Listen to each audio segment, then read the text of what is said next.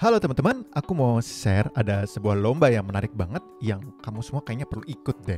Ini lomba yang diadain oleh Huawei, nama lombanya App Apps 2021 Huawei HMS App Innovation Contest. Jadi ini merupakan lomba yang sebenarnya skalanya global, tapi nanti jangan khawatir teman-teman akan compete regional uh, di Asia Pasifik ya di APAC dan ini bisa diikutin teman-teman baik itu yang uh, pelajar, mahasiswa, profesional, hobiis, tenang aja bisa ikut lombanya. Ada lima region dan di kompetisi ini memanfaatkan namanya Huawei Mobile Services. Jadi uh, kalau misalkan teman-teman pakai Android dan tahu ada Google Mobile Services ya, nah ini teman-teman Huawei punya punya teknologi yang sama namanya HMS atau Huawei Mobile Services. Nah, teman-teman cukup membuat aplikasi yang memanfaatkan HMS ini dan basicnya tetap Android gitu kan. Jadi sebenarnya tidak begitu sulit buat teman-teman untuk ikut lomba ini. Dan kenapa uh, sebenarnya ini menarik adalah karena pertama ini Huawei lagi apa ya lagi invest cukup besar untuk membangun ekosistem dan mereka juga sudah punya 730 juta uh, smartphone yang tersebar di seluruh dunia. Artinya apa? Buat teman-teman developer yang emang profesional ini bisa jadi sebuah apa ya?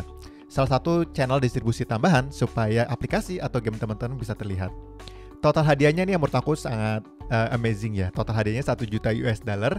Di mana kalau kita bagi jadi 5 region, jadi buat efek sendiri ada 200 ribu dolar yang bisa dimenangkan. Nah, yang aku suka adalah di lomba ini kategorinya cukup apa ya, cukup banyak sehingga jadi teman-teman punya apa ya, punya playing level field yang cukup fair lah gitu. Nggak yang teman-teman yang students di compete dengan teman-teman yang udah unicorn atau profesional nggak. Karena ini kategorinya cukup banyak. Dia ada kategori untuk best apps itu hadiahnya juga gede ya 15.000 untuk pemenang. Ada dua pemenang yang dipilih ada best games ada best social impact award. Ini nyari aplikasi yang bisa nge-empower something yang punya impact sosial dan perubahan. Kemudian buat teman-teman yang suka ngulik-ngulik teknologi ada kategori best HMS Core Innovation Award. Ini yang menggunakan teknologi entah itu AI atau augmented reality atau teknologi-teknologi yang sifatnya masih futuristik Kemudian buat Woman in Tech atau Woman in Game juga ada Tech Woman Award, ada dua pemenang, masing-masing bisa dapat hadiah 10.000 uh, US dollar. Kemudian ada Best Fintech Innovation Award. Nah, ini di Indonesia lagi banyak banget kan aplikasi-aplikasi yang fintech ini itu juga bisa mengikuti kategori ini.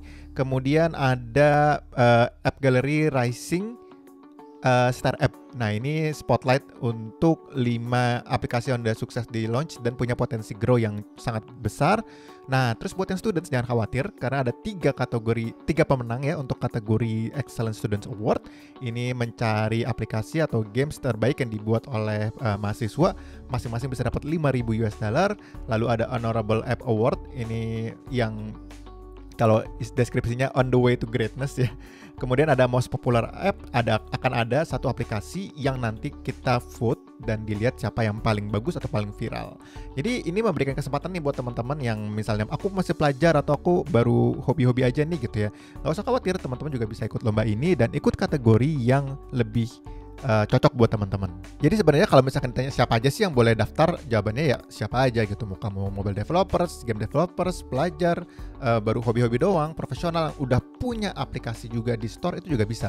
Kenapa? Karena di sini nggak hanya untuk uh, aplikasi yang baru. Coba kalau teman-teman udah punya existing apps di Android dan teman-teman mau masang HMS-nya uh, Huawei Mobile Service-nya itu juga bisa loh gitu. Jadi teman-teman tinggal porting aja dan bisa ikut kompetisi ini. Dan cara daftarnya ya gampang ya teman-teman tinggal ke websitenya Apps Up, kemudian daftar, kemudian register buat Huawei Developer Account, sign up uh, buat Apps Up, kontak-kontaknya, daftar timnya, that's it beres gitu kan. Jadi um, nanti teman-teman selain berkesempatan untuk tentu teman-teman kita nginjar cashnya ya. Yang price poolnya 200 ribu US dollar itu ini juga bisa menjadi semacam apa ya semacam uh, alat bantu buat teman-teman untuk pad karir teman-teman atau produk teman-teman. Bisa mendapatkan exposure networking bisa ketemu investor bisa mendapatkan feedback dari juri-juri kemudian nanti akan ada global media promotionnya, kemudian juga nanti ada akses ke workshop, uh, coaching, uh, dan banyaklah fasilitas lainnya yang ini bermanfaat gak cuma buat uh, teman-teman yang mungkin headhunting, tapi juga teman-teman yang pengen memulai karirnya di dunia yang profesional gitu ya. Di sini bisa jadi modal baik itu modal finance maupun modal uh, network dan ekosistemnya. Nah, uh, ini ada tanggal-tanggal penting yang perlu teman-teman perhatikan gitu ya. Jadi dari 10 Juni sampai 20 Agustus itu adalah momen di mana teman-teman bisa registrasi, bisa coba-coba integrasi HMS Core Kit-nya, lalu coba ngerilis di App Gallery dan submit ke dalam kompetisinya.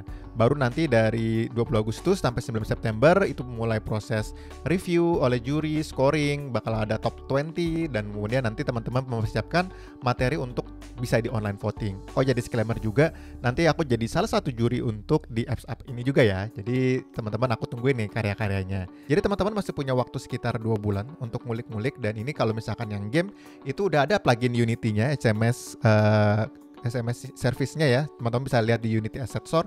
Kayaknya di Android juga udah ada plugin juga. Harusnya sih tidak sulit untuk teman-teman porting kalau sudah pernah bikin aplikasi Android sebelumnya. Oke, jadi buat teman-teman uh, langsung aja kalau mau tahu lebih banyak tentang uh, eventnya, teman-teman bisa ke ada webnya di bit.ly di apps up apppack SP itu ya. Nanti linknya aku taruh di deskripsi, teman-teman bisa klik di situ langsung.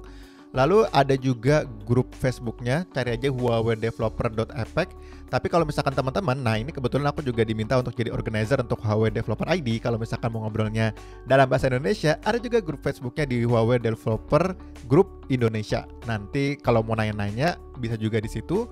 Lalu um, teman-teman yang yang mau coba nih daftar bikin Huawei Developer Account, ini lagi ada namanya sign up bonus. Langsung teman-teman dapat 10.000 Grab uh, gift card. Nah, itu silahkan dicoba. Itu limited time only dan ada term and conditionnya ya. Tadi aku sempat mention bahwasannya aku juga jadi juri di sini. Selain aku juga nanti ada juri dari Singapura, dari Malaysia, dari Thailand, dari Vietnam, dari India. Lalu juga ini juga sudah berpartner dengan cukup banyak organisasi ya. Dari AGI ada, dari uh, asosiasi game dari lain juga ada gitu. Jadi cukup rame nih juri-juri dan saat uh, dan partner yang terlibat. Jadi ini skala acaranya juga nggak main-main. Jadi pastikan teman-teman yang punya aplikasi, yang punya games itu di Android bisa coba di porting atau yang punya ide baru pengen coba uh, berinovasi diikutin juga itu juga bisa. Yang jelas waktunya masih panjang, cuma jangan terlena dengan waktu sampai 20 Agustus itu. Semakin cepat teman-teman start, semakin cepat teman-teman coba daftar dan improve, itu akan semakin baik. Paling itu aja update untuk lomba kali ini. Jangan lupa kalau misalkan ada pertanyaan tadi ya uh, kamu bisa langsung aja ke uh, link-link yang ada di bawah yang tadi sudah aku mention atau kalau mau nanya personal ke aku juga bisa langsung di uh, DM aja di Instagramku um, atau tinggalkan komen di sini juga boleh.